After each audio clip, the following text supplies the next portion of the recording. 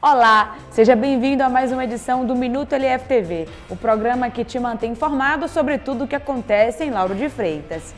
Entre os destaques essa semana temos a situação da Orla de Ipitanga, que chama a atenção pela falta de manutenção do local. Nós fomos lá conversar com comerciantes e ambulantes.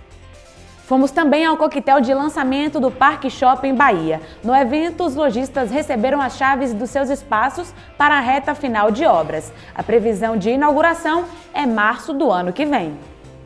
Moradores e frequentadores da praia de Vilas do Atlântico se queixam da falta de manutenção no calçadão. O local é utilizado principalmente para a prática de atividades físicas. Apesar do prazo final estabelecido pelo Tribunal Regional Eleitoral da Bahia, para o cadastramento biométrico, os eleitores que se deslocaram ao cartório eleitoral de Lauro de Freitas nesta quinta-feira se depararam com cartazes informando o atendimento normal até abril do ano que vem.